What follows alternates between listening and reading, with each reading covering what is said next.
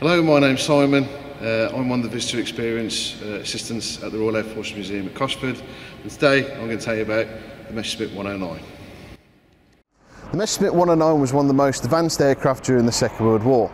The reason behind that was its engine. It was a DB605 made by Daimler-Benz. It was a fuel injection system.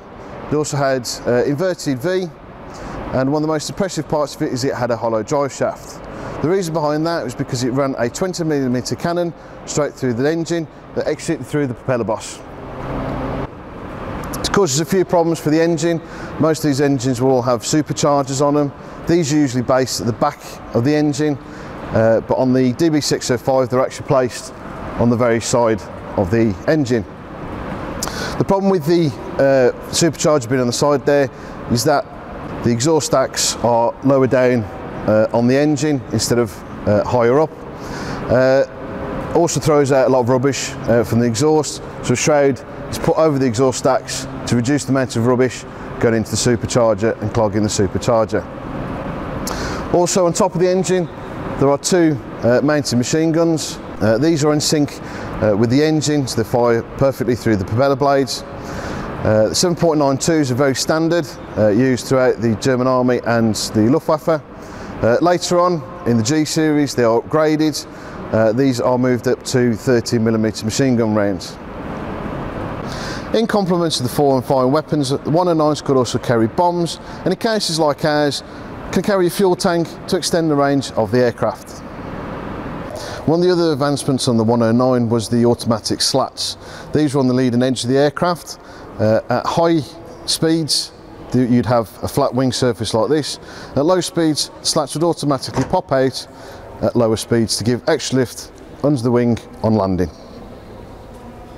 Even though the Messerschmitt 109 was a successful aircraft, it did have its faults. Its main one was its undercarriage. It was very narrow undercarriage. Um, the reason being it was bolted to the frame of the aircraft instead of the wings, uh, which was designed to help manoeuvre the aircraft and also transport it on uh, railway wagons.